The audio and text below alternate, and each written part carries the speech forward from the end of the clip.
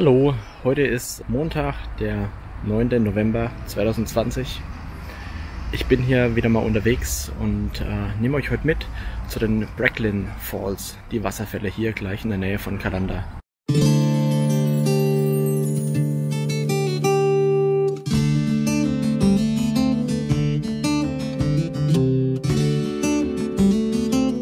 Aktuell stehe ich hier auf dem Tomna Kesaik. Das ist hier ein kleiner Hügel das ist der Hügel von St. Kessock. Ähm, das ist so eine kleine ehemalige Burg oder sowas. Nicht ganz bekannt. Und von da aus gehe ich dann jetzt sozusagen zu den Wasserfällen.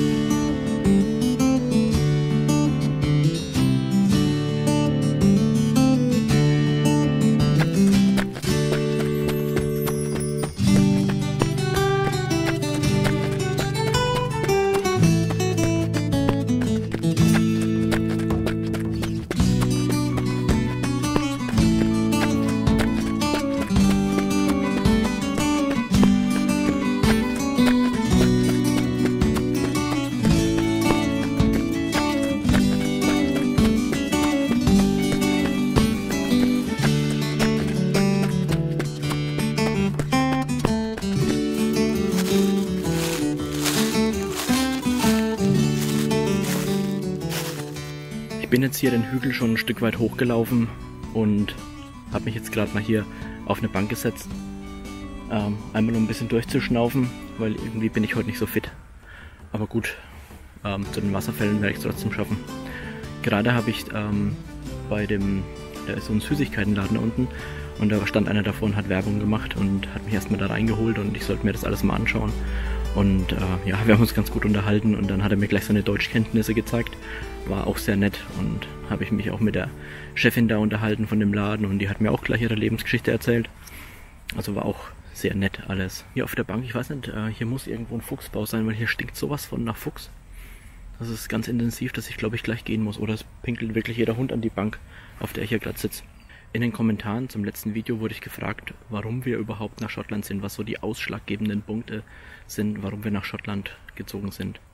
Also ein erster Punkt, würde ich sagen, ist einfach die faszinierende Landschaft hier. Die Landschaft hier, die ist wirklich unvergleichlich. Ich habe sowas noch gar nicht gesehen.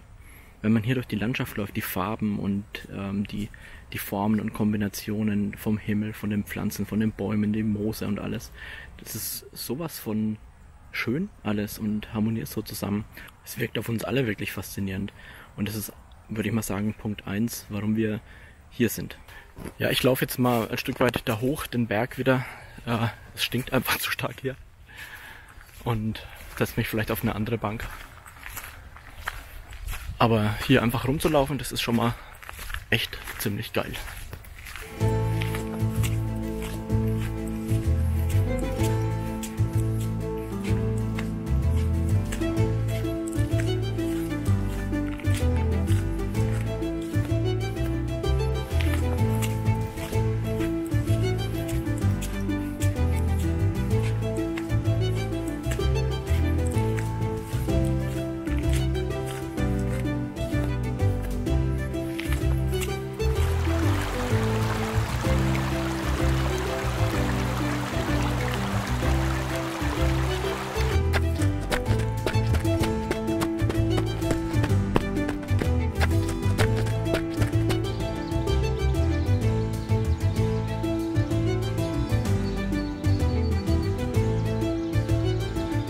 Ich hatte ja als Punkt 1 gesagt, dass die Natur hier so faszinierend ist und ich bin hier wirklich an einem Punkt, der ist unglaublich faszinierend. Ich zeige das einfach mal hier. Das sind die Bracklin Falls.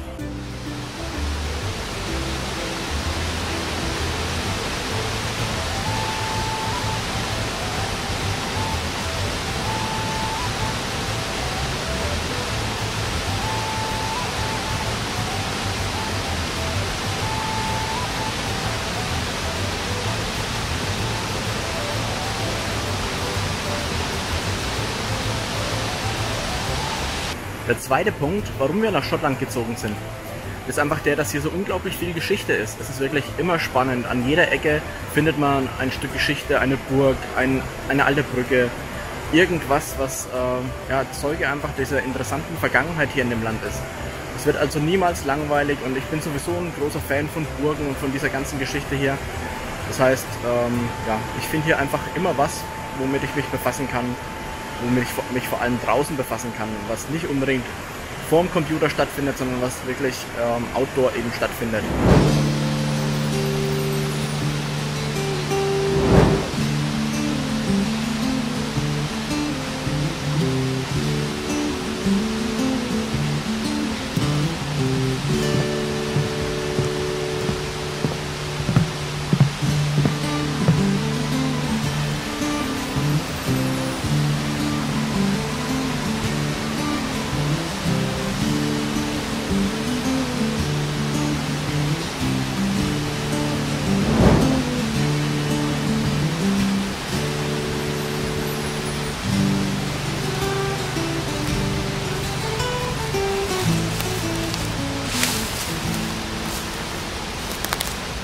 Der dritte Grund, der mir jetzt spontan einfällt, warum wir nach Schottland sind, ist, dass hier die Bevölkerungsdichte so unglaublich dünn ist.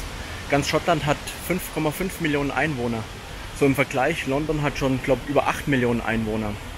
Das heißt, wir können hier richtig weit laufen, ohne dass wir irgendjemanden begegnen. Hier ist an vielen Stellen einfach alles wild, nichts bebaut. Es ist einfach ein Stück weit ursprünglicher. Und das macht es aus, es ist einfach wilder. Und da hat die Natur einfach mehr Kraft und es macht mehr Spaß zu laufen, zu wandern. Und hier einfach zu gehen, ist einfach ein richtiger Genuss für die Augen. Das ist einfach ein ganz wichtiger Grund für uns gewesen.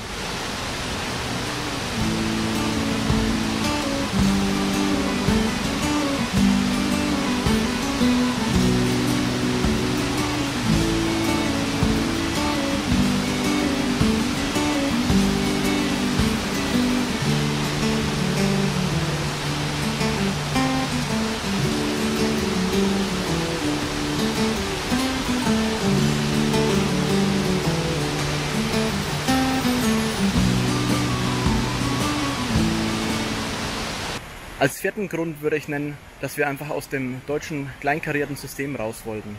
Wir wollten wohin gehen, wo nicht wirklich alles vorgeschrieben ist. Also wenn ich jetzt zum Beispiel hier an diesen Wasserfällen bin, hier steht kein Schild, dass ich hier nicht runterfallen soll.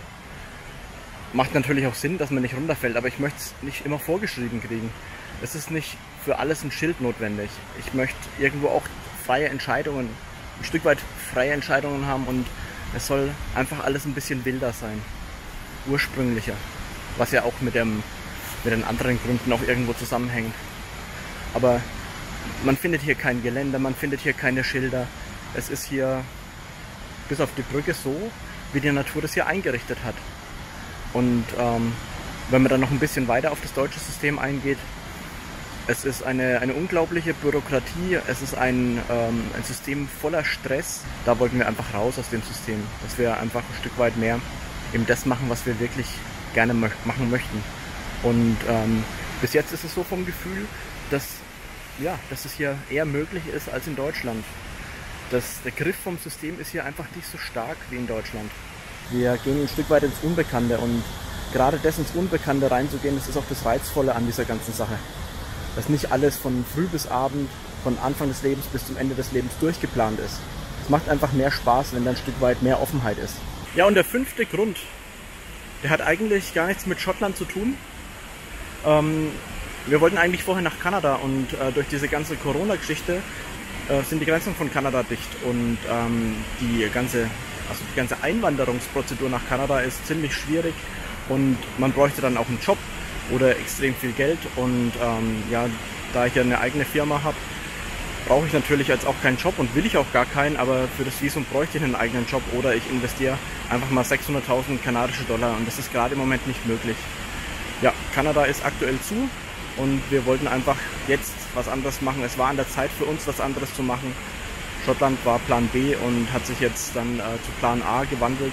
Das ist wirklich wunderschön hier. Wir sind sehr zufrieden. Bis jetzt es ist jetzt ein Monat, wo wir hier sind. Und ja, ich würde sagen, bisher ist alles top gelaufen.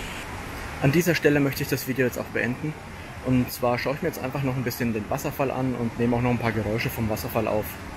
Ich würde mich freuen, wenn ihr mir ein Like da lasst, abonniert den Kanal und ich freue mich auf jeden Kommentar. Ich wünsche euch das Beste. Bis bald. Tschüss.